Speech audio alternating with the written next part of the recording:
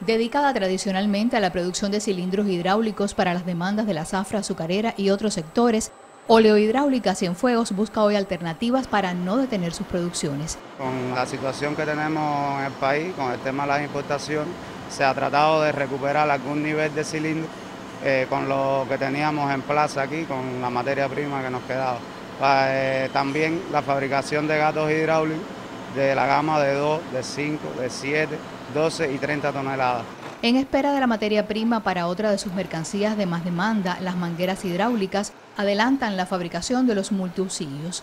Luego de la caída de sus producciones a 8 millones de pesos durante la etapa de pandemia, la fábrica creada por el Che en 1967 intenta retomar su plan de 17 millones con otros servicios y encargos del gobierno que representan los mayores ingresos a la entidad.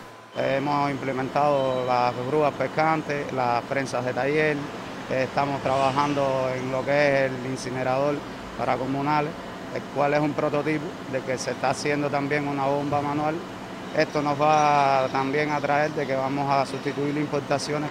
La prestación de los servicios a otras entidades, a nuevos actores económicos, tales como la recuperación de piezas de repuesto, de cilindros, de traspaletas, que han sido productos líderes de nuestra organización y que hoy realmente por el déficit de las materias primas se nos ha visto un poco complicado poder mantener esa producción. A un 50% de su capacidad productiva reorganizó fuerza laboral y conceptos para nuevos proyectos. Estamos fabricando parques infantiles para garantizar el apoyo a las comunidades, una de las tareas principales de la dirección del, del país.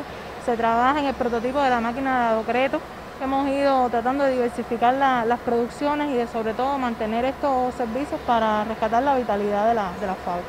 Única en Cuba y en la industria sideromecánica, sin embargo la categoría con la que se clasifica tras el ordenamiento le impone bajas escalas salariales y la falta de materia prima impide los pagos por utilidades. No obstante, Oleohidráulica Cienfuegos pone la experiencia de sus obreros en la continua búsqueda de alternativas a la sustitución de importaciones para la industria nacional. Ismari Barcia, Notisur.